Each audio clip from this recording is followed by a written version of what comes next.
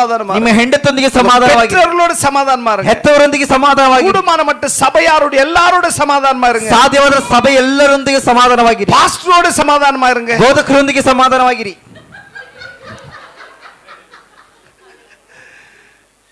ஏன்னா எல்லாருக்கும் மாற்றால் நான் ஒண்டிதான் ಯಾಕಂದ್ರೆ ಎಲ್ಲರ ಬಳಿ ಸಿಕ್ಕಿ ಹಾಕಿಕೊಳ್ಳೋದಾದ್ರೆ ಬೋಧಕರೇ